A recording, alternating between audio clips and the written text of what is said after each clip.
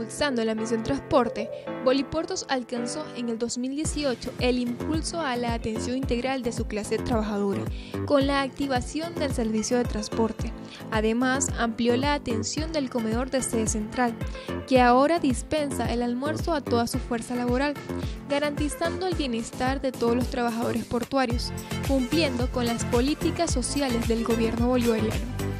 Además, en el nuevo año, esta iniciativa se fortalecerá con la adecuación y la ampliación de la infraestructura del comedor principal, que ofrecerá a los trabajadores de Bolivariana de Puertos un lugar digno para disfrutar la hora de comida diaria.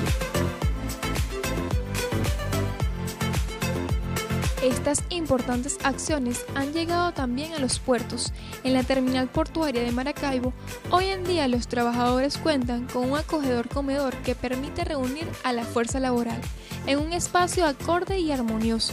En el 2019, Bolipuertos extenderá estos beneficios al resto de sus puertos. Otra área profundizada es el Plan Chamba Juvenil. Atendemos esta gran misión contribuyendo a la formación profesional de los jóvenes venezolanos que han sido incorporados a las terminales portuarias de Bolipuertos.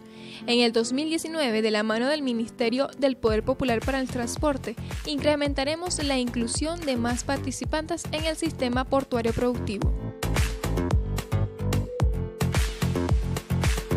También enfilaremos el rumbo del Movimiento Nacional de Mujeres Portuarias, que nació en el 2018 como un espacio para la lucha de igualdad y justicia social, y este año ampliará su campo de acción a la asistencia integral y el bienestar de la clase trabajadora.